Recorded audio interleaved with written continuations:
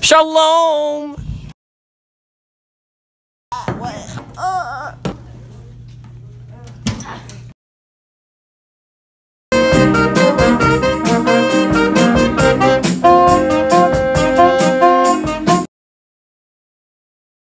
How do you feel about that concert? I feel like a fucking, fucking bloody legend.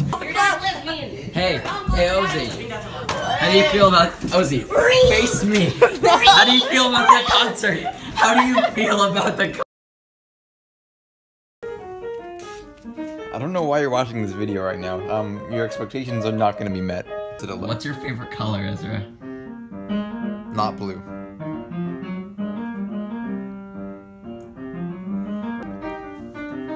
Is there a new episode, Ezra? No.